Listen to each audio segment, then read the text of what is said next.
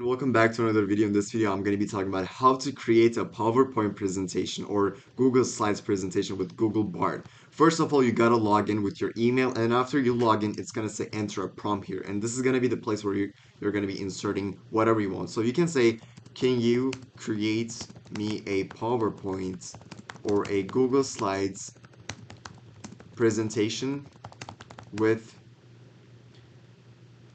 or about games and their prices. So this one will literally give you uh, the overlay and also the actual PowerPoint. Sometimes it might not work, um, but here's the um, things that you can include in your presentation. So basically it says that you need to um, include the history of the video games and how their price affected and where to buy the video games and their best that their best prices.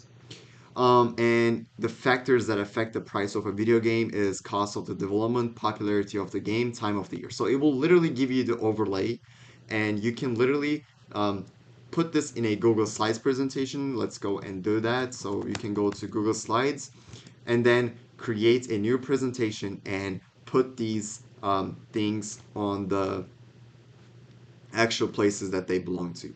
So for example, you can create a slide about the cost of the development, popularity of the game, and time of the year. So this is literally it. Um, we can ask for a actual presentation.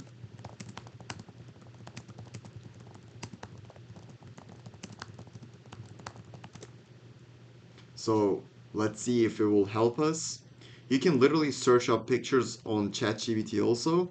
And this literally gives us the title slide um, and also the subtitle um, and it will literally give you the introduction the history of the video games which says that slide 2 slide 3 literally explains the factors that affect the price of a video game and where to buy the video game slide 5 and you can literally put a conclusion slide which explains everything um, that are going to be on the slides. So you can literally use this to create a presentation for a class or a business presentation or to your family to explain something. You can do other things like can you send me the pictures? And literally it will give you the links or the names of the pictures. It will, I'm not sure if it will give the um, pictures. Oh, so it literally gives the uh, images, the image of the PlayStation 3, image of a video game store, image of a video game. So literally it will give you the overlay, like the actual, like the, what is it called? The blueprint of the presentation. And you can use this to create your own presentation and you can literally ask the Google Bard AI, which is an experiment by the way, so this is not the full version, to give you a script in the presentation. So you can say, can you write me a script? So it will literally give you the presentation. So all you have to do is just find the pictures and put them in a Google font or something, and it will literally um, give you the actual presentation. So we're gonna say about the games. So this is how AI works. So you can say, uh, oh, it literally gave us a scene, like an actual scene. So let's say, can you create me a presentation script about the game and the prices?